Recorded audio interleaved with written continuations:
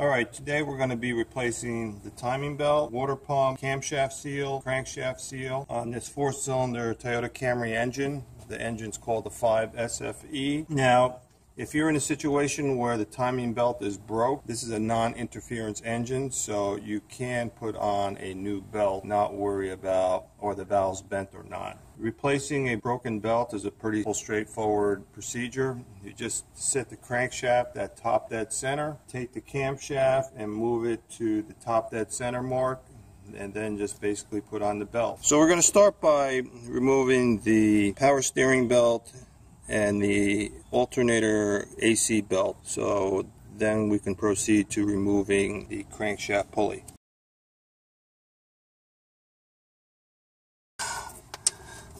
Now I use a brass hammer to move the pulley forward. And that will allow me to remove the belt. We'll remove the tension off the pivot bolt for the alternator.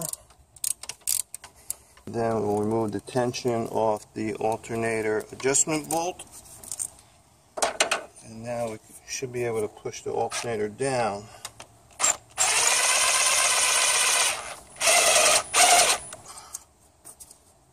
Now the alternator belt is off. So there's a power steering belt. This is the alternator belt. Now we'll remove the crankshaft pulley bolt. This is a high mass 19 millimeter crankshaft bolt removal tool that I used on a Honda and on the 5SFE engine the crankshaft bolt is 19 millimeters so this should work wonderfully removing the crankshaft pulley bolt. Like butter. okay, I don't need to use a, uh, a pulley removal tool because this is sliding in and out pretty easy. So I'm going to put the bolt back on loosely just so that I could crank the crankshaft to the top dead center mark.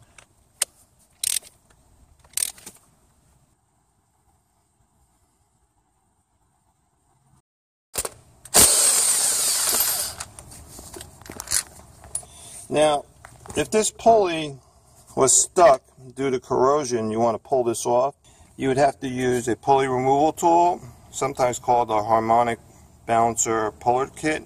You would take this and mount it like this and turn this center bolt clockwise and that will pull on the pulley. So you would use a set of two bolts and screw it into the holes in here, these two holes in here, so that this bracket has something to pull on. So it works something like this. So as you tighten this down, it'll pull the pulley off the shaft of the crankshaft.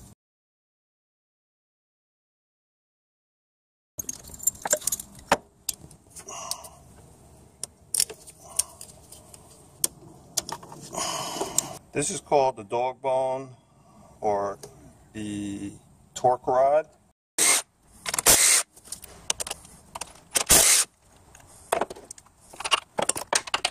This bushing popped out. You have three 14 millimeter bolts that holds the side motor mount bracket.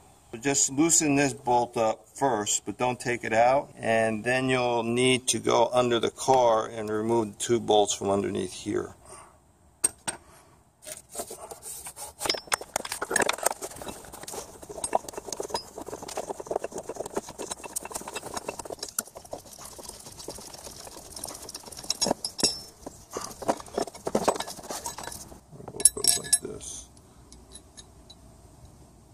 Now this hose has this tendency to get in the way. It's a power steering hose. So you have one or two options. You could just deal with the hose, just constantly keep pushing off to the side if it gets in the way. Or you can drain the power steering fluid from the bottom and then just move the whole container out of the way over here. So for this video, I'm just going to deal with the hose slightly being in the way.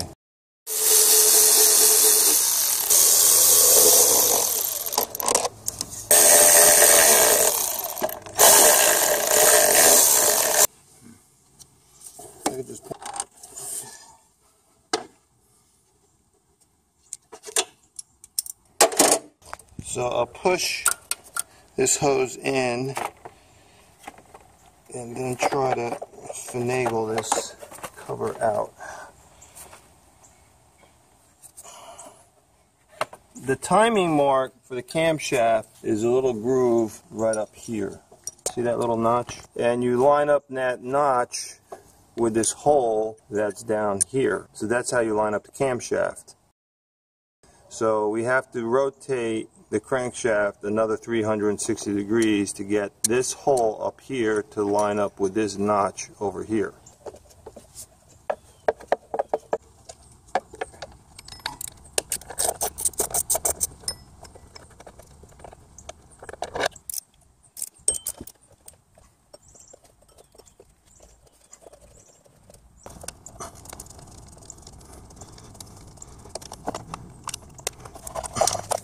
Now, in the process of taking off the cover, you have to detach this electrical fitting over here. So I detach that, and there's another fitting down there, but that's been broken off previously. I think I dropped that cover and pull out from the bottom.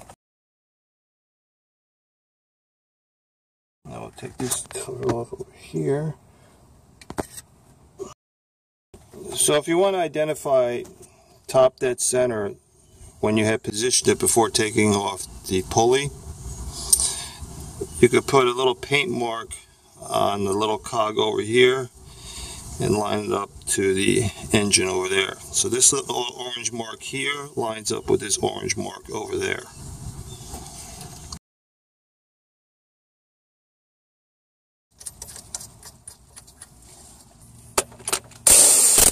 Turning at 360 degrees.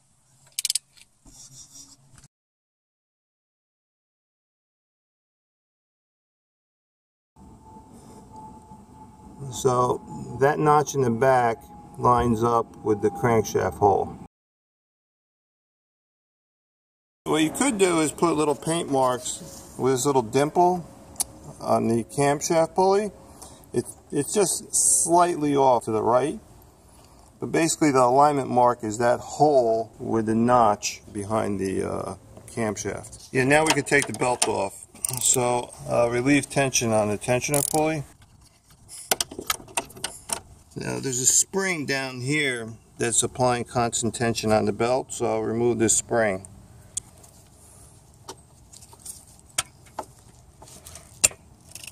Now with that spring removed and the bolt removed, this pulley should just come right off.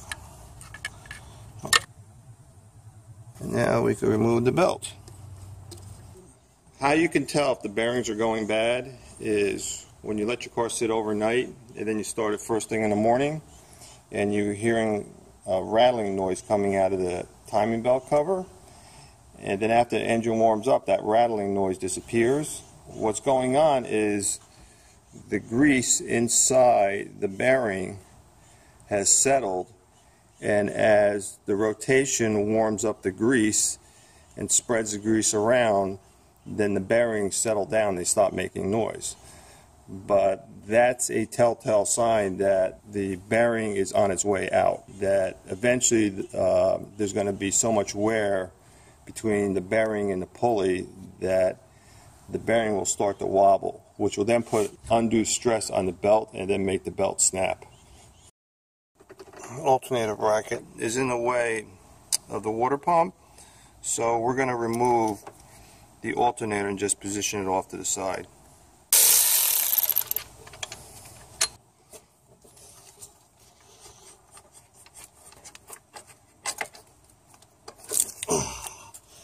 And we'll just put that off to the side.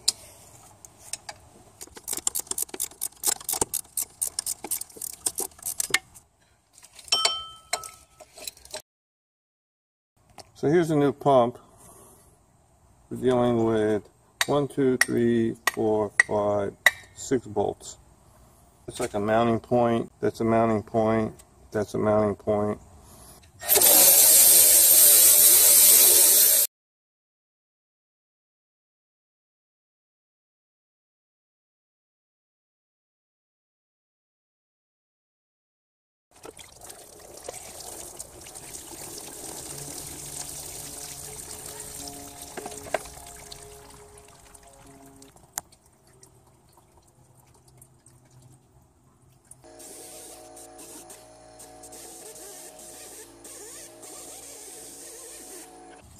So you got a nice clean matting surface to put on the new gasket in the pump.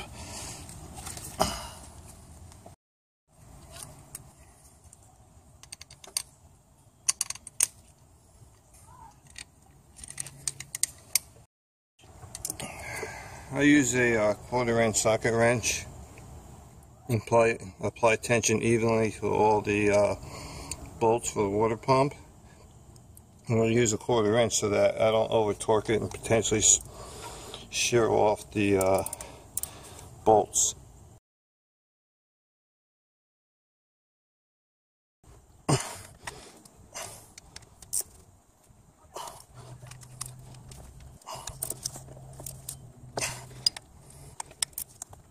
Okay, now we'll use the chain strap wrench to hold the camshaft to remove the camshaft sprocket so I can get to the cam seal.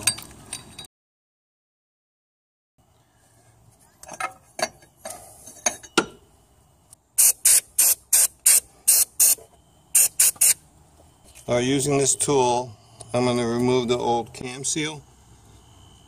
I'm going to work it in. So I got that angled in.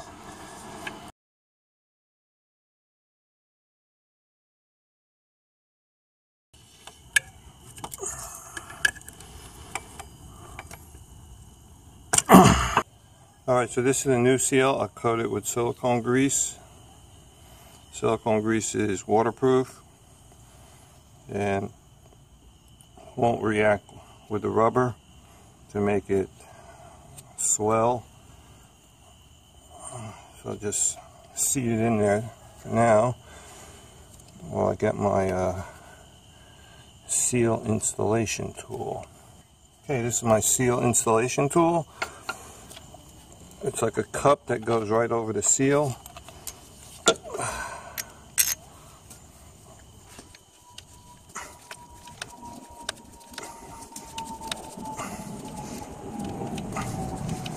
Okay, Okay, that'll put even pressure on the seal.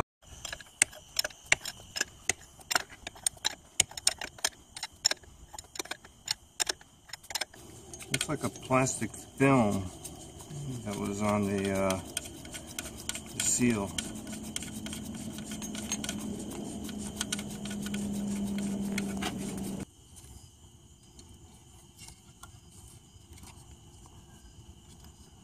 Let's see it in there flush.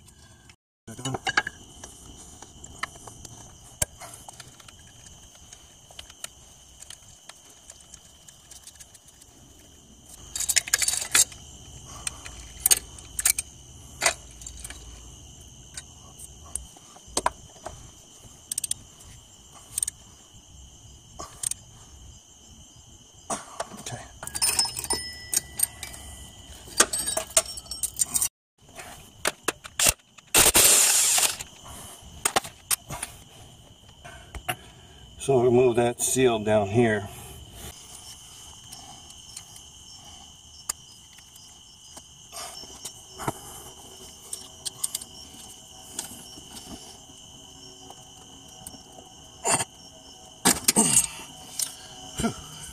So basically what I did was uh, I used a screwdriver to open this part of the seal up so I could take this tool which is a paint can opener, put it in between here, and then pull the seal out.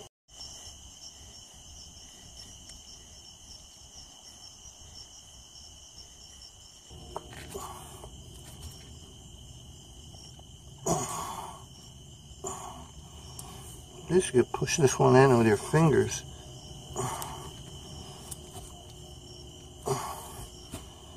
That's it. It's in there tight. Oh, one thing I want to note is sometimes with uh, high mileage Camrys, and I'm talking like 200,000 miles, the oil pump seal behind here has a tendency to, leak.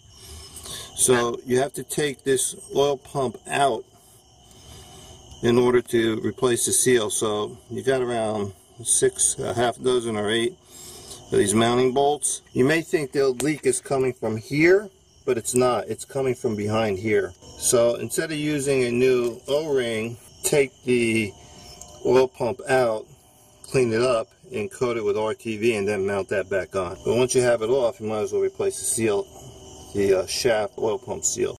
This is the new idler pulley, or guide pulley, whichever term you want to use.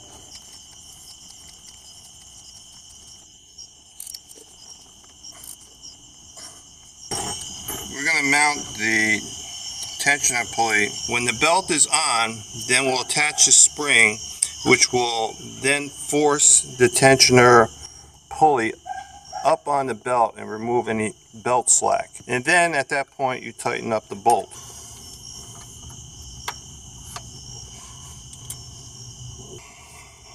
Make sure that the arrows on the belt is pointing towards the front of the car.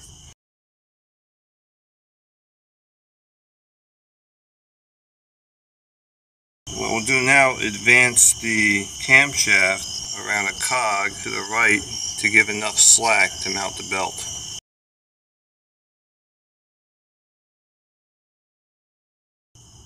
Okay, the belt is on. Now, if we move the camshaft counterclockwise back to the alignment point and there's no slack on the belt, then, then we got perfect alignment. Otherwise, I gotta do it again.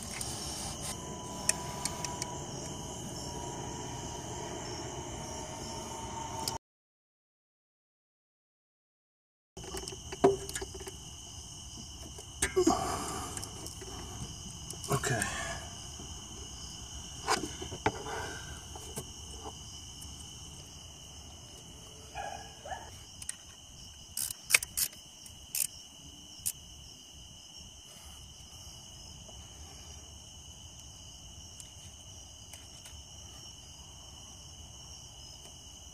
Do you think?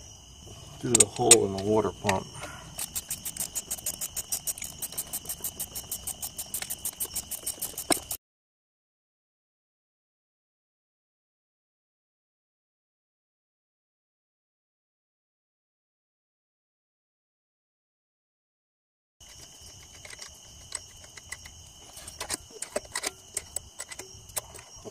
Tighten this up, the bracket for the uh, alternator.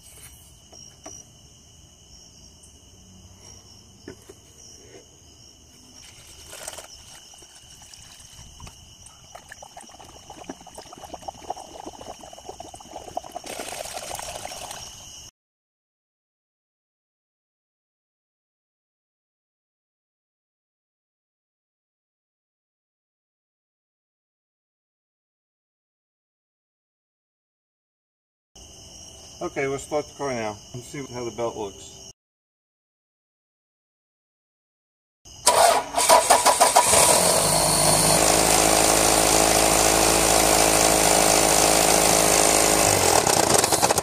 So the belt's a little loose, so we're going to tighten it up. That's too loose. So we'll take the slack off over on the right side. I moved the camshaft counterclockwise, which removed the slack. Now you got a little bit of slack here. So when I remove the tension off the tensioner pulley, the spring should pull in the slack. See, it just moved up.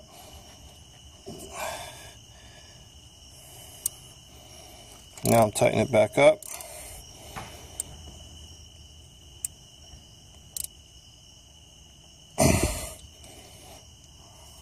Now it's tight again.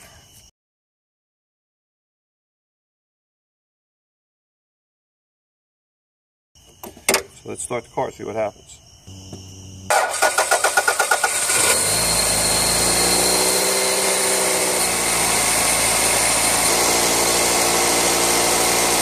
Yeah, that was much better. Before the belt was going up and down like this, over here, now it's only going like this. It's like a flutter.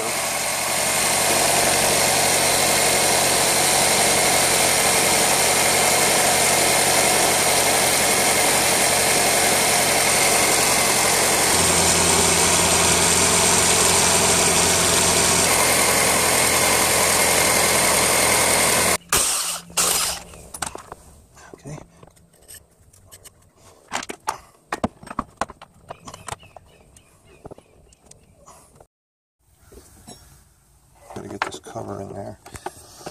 This cover in here, I gotta sort of move these power steering lines and AC line sort of out of the way.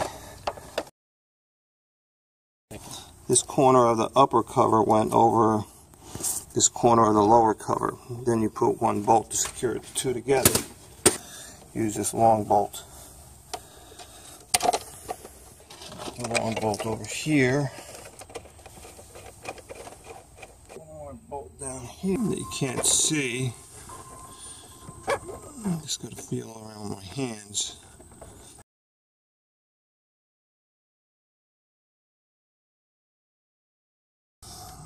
Now you could just tighten all the bolts up. Alright, let's see how it sounds. Make sure that the timing belt covers are installed properly. If, if anything went wrong, you'll, you'll hear the belt rapping against the side of the cover.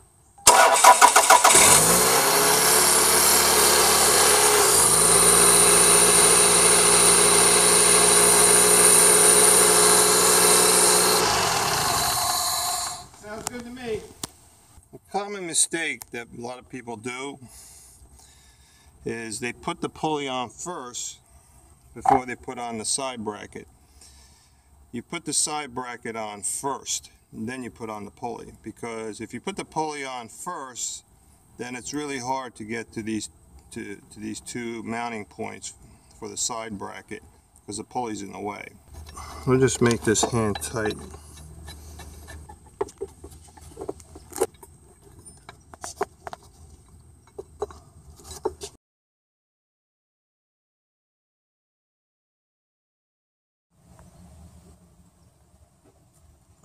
Okay.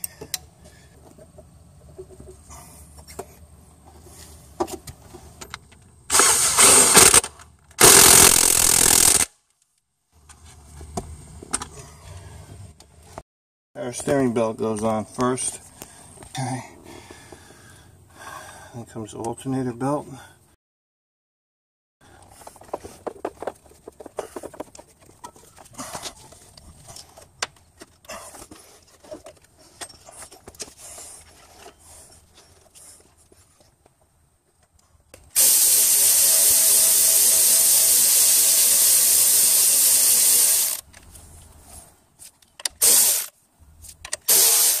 When you're tightening it, the belt shouldn't twist more than 45 degrees.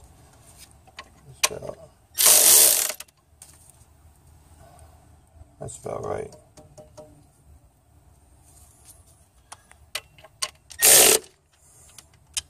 Now the pivot bolt gets tightened. You need a uh, pry tool to put tension on the belt. And while you're putting tension on the belt, apply torque to the locking nut.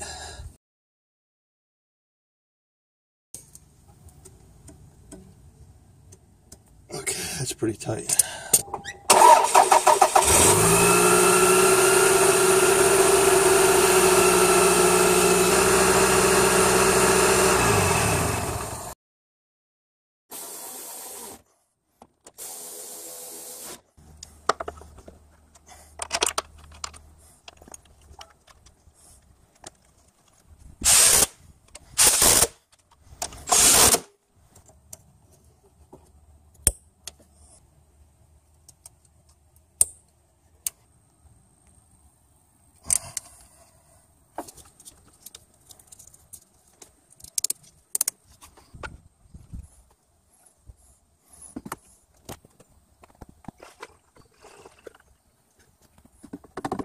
Let the car run and let all the air bubbles work out.